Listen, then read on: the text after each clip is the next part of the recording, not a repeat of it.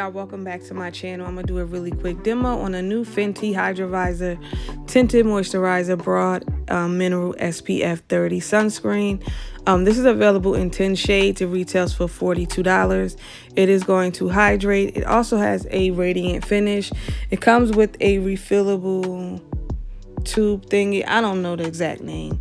And also on the side of it it comes with the instructions to show you exactly how to put it together. So anyway, I went with the shade 7.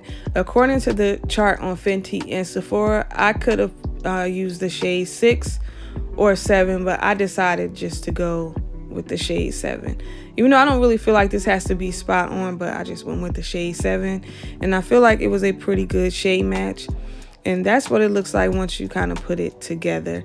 It is recommended that you apply this product with your fingertips. So that's pretty much what I did um, in this video. You'll see me using my fingers, blending it out.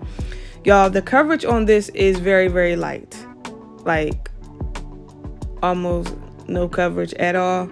In my opinion, I went in with a lot because I have a lot of dark spots on my face and it didn't cover up hardly anything so I end up going back in with more you'll see that in the video this is not one of those skin tint SPF where you kind of can go in with a concealer bronzer blush all that I mean you probably could but I wouldn't because I feel like you would have to put a lot of this on um, to get coverage now if your skin is perfect you don't have any dark spots hey you might can make it work but if you have any darkness or acne, hyperpigmentation on your face, you will have to use a lot. And I don't think that you should.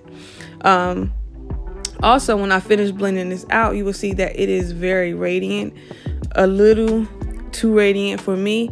So at some point in the video, you will see that I used a setting powder to tone down some of the shine. But other than that, I really love the finish. It looks very nice and natural.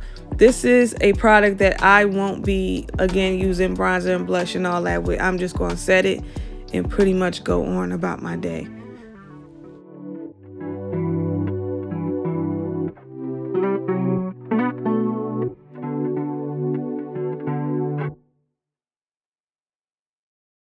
And as you see, I did apply more because I do have some dark spots.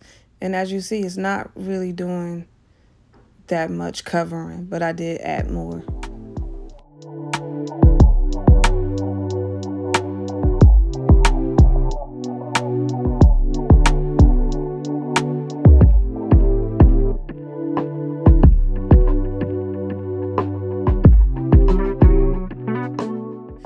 Also, if you have extremely oily skin like myself, um, after you set this um, SPF, I would recommend using a setting spray. I've had this for three or four days now, and I noticed the first couple times I used it and I didn't use it with the setting spray, I got very, very shiny um, right away. And I see a difference with it whenever I go in with a setting spray. So, again, if you have oily skin, I would recommend using some type of setting spray.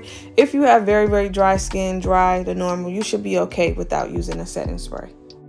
But anyway, y'all, that is it for today's video. Hopefully you guys enjoyed it. Don't forget to like and subscribe, and I'll see y'all later. Bye.